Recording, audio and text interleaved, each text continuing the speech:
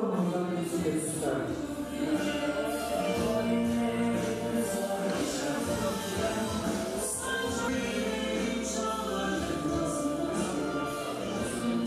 Şahin Belediye Başkanımız var, bağlı sendikalarımızın değerli başkanları, Şahin Bey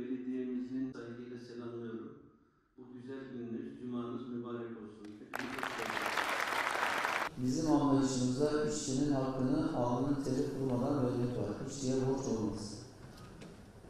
Bugünden itibaren, ilk başladığım güne itibaren işçilerimizin maaşını günü gününe ödeyeceğimiz gibi geçmişten gelen 8 trilyonluk borcu da sendikayla da görüşerek 8 eşit taksitte maaşlarına ilaveten ödemeyi imza altına aldık. Ve o zaman işçilerimiz çok sevinmişti. Fakat biz şunu yaptık, 8 aya da bırakmadık, 6 ay içerisinde geçmişten gelen tüm borçları ödeyerek eski borçları bitirmiş olduk. Ve 12 yıldır Şahin Bey'de belediye başkanlığı yapıyoruz çok şükür. Hiçbir gün, hiçbir işçimizin maaşını bir gün geciktirmediğimiz gibi ikramiyesini de e, ödemelerini de yine geciktirmedik. Gerektiğinde önce ödedik ama bir gün bile geç ödemedik. Öncelikle biz işçilerimize vereceğimiz, mesela geçen yıl başlattığımız bir uygulamamız vardı. Sigara içmeyen personellerimize 250 lira ek ödeme hem de destek olmak amacıyla. Buradaki amacımız hem para vermek hem onların sağlığını korumak. Sigara birçok hastalığa sebep oluyor. Bu yıl e, inşallah sözleşmemize koyuyoruz. O 250 lira olan her ay düzenli olarak yaptığımız yardımı 400 liraya çıkarıyoruz. 250'den 400 liraya çıkarıyoruz başkanım. Aslında biraz seyyanen nizam gibi. Çünkü şöyle bir de ben şuna özellikle dikkat ediyorum. Belediyede diyelim ki misal 3 bin lira maaş alan birisine yüzde yirmi zam yaptığın zaman 600 lira alıyor.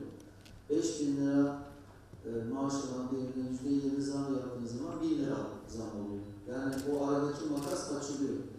Bizim derdimiz özellikle bu seyyanen olan, herkese aynı orandaki zammı destekleyerek e, biraz da sağlamaya çalışıyoruz. Mesela burada herkes maaşı kaç olursa olsun maaşına bakılmaksızın e, otomatikman 400 lira alacağı için maaşını direkt 400 lira bir zam gibi olmuş olacak.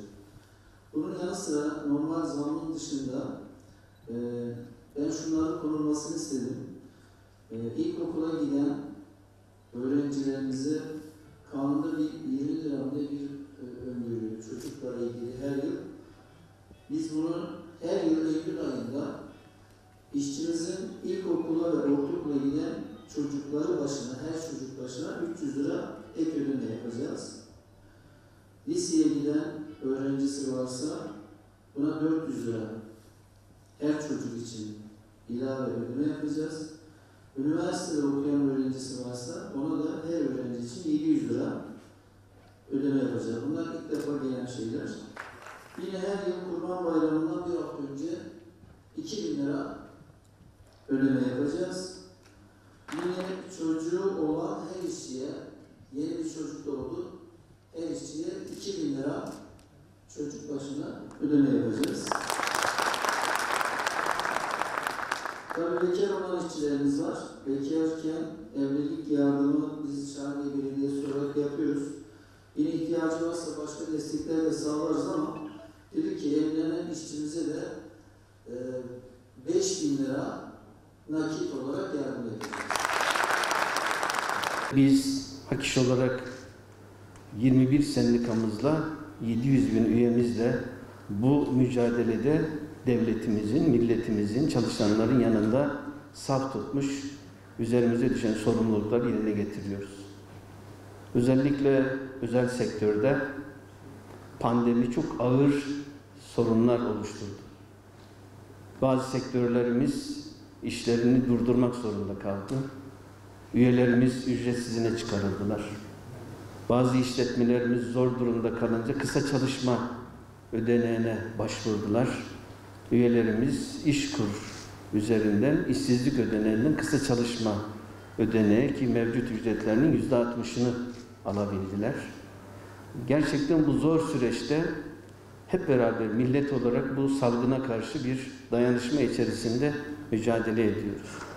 Tabii ki kamuda be- belediyelerimiz başta olmak üzere gerek memurlarımız, gerek çalışanlarımız, diğer kamu kurumlarındaki arkadaşlarımız bu tür ücretsiz izin ve kısa çalışma ödenekleriyle ilgili durumlarla fazla karşılaşmadık. Üstelik biz pandemi döneminde de tam çalışıyoruz. Sayın Başkanımızla bütün hizmetlerimizi yürütüyoruz. Çöpü alıyoruz. Temizliği yapıyoruz. Parklarımıza bakıyoruz. Her türlü hizmetlerimizi e, eksiksiz bir şekilde yerine getiriyoruz. Bu ne demektir? Pandemiyle beraber çalışma hayatını da birlikte sürdürüyoruz. Zor bir görev yapıyoruz. O nedenle belediyelerimiz başta olmak üzere kamuda gerçekten çalışan arkadaşlarımızla büyük bir fedakarlıkla bu süreçte hep beraber üzerimize düşen sorumluluğu yerine getirdik. 696 ile sendikaya üye olma, toplu sözleşme hakkını elde eden sizler aslında büyük bir reformun sonucunda bugün burada bu masadayız. Türkiye Cumhuriyeti Devleti'nin Cumhuriyetimizin 100 yıla yakın geçmişi var. 100 yıla yakın bu geçmişimizde çalışma hayatı ile ilgili yaptığımız en büyük devrim, reform bu 696'dır Sayın Başkanım. Belediyelerde yaklaşık 450 bin, kamuda yaklaşık 450 bin taşeron şirketlerde çalışan arkadaşlarımız artık kamunun, belediyenin ve kamunun işçileri oldular. Taşeron sistemi ortadan kaldırıldı. Bütün hizmetler artık belediyemiz tarafından sizlerle birlikte yürütülüyor. Bu bize bunu sağlayan Sayın Cumhurbaşkanımız Recep Tayyip Erdoğan ve ekibine, hükümetine özellikle buradan teşekkür etmek istiyorum. Çünkü daha önceden de siz belediyemizde çalışıyordunuz ama belediyemizin çalışanı olarak değil, herhangi bir e, ihale almış firmanın çalışanı olarak buradaydınız. Hayaliniz neydi? Belediyenin işçisi olmak. Allah'a şükür bunu başardık. Geçiş dönemlerinde evet Yüksek Hakem Kurulu'nun rakamları hepimiz biliyoruz. Yüzde dört dört rakamlar 2018'den 2021'in 20'nin Temmuz'una kadar bir geçiş dönemi vardı. Geçiş döneminde yine de Sayın Başkanımız o şartları dikkate alarak belediyemizin de imkanlarını bazen kullanarak ilave bir kısım katkılar da yapmış idi. İlk defa kanunun bize verdiği Sayın Başkanımızla bize masada serbestçe toplu imza, toplu sözleşme yapma hakkını kanun Temmuz ayından itibaren bize vermiş oldu. Bu görüşmeler bu çerçevede devam etti. Daha önceden Sayın Başkanımız bu rakamları vermek istese bile veremiyordu. Kararnamede çünkü hüküm vardı. Sadece şu şu kalemleri verebilirsiniz, başka veremezsiniz. Bu toplu iş sözleşmesiyle ilk defa yeni haklarımız olacak. Başkanımız demin bunları ifade ettiler. Daha da önemlisi bu yeni haklara yenilerinin ilave edilmesi konusunda da çalışmalarımız devam ediyor. Sayın Başkan'ın o samimiyetine gerçekten teşekkür ediyorum. Bizi daha ileri neler yapabiliriz? Bu açıkladıklarımızın üzerine başka neler yapabiliriz? Başka kalemlerde nasıl bir yol izleyebiliriz ve bunu çalışanlar lehine nasıl kullanırız diye bir çaba içerisinde.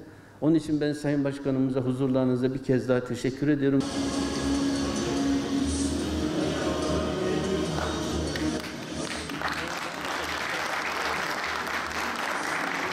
Ben de burada bir ilave yapayım başkanım müsaadeniz olursa. Biz Şamil Belediyesi olarak 3,5 milyon fidan diktik şimdiye kadar.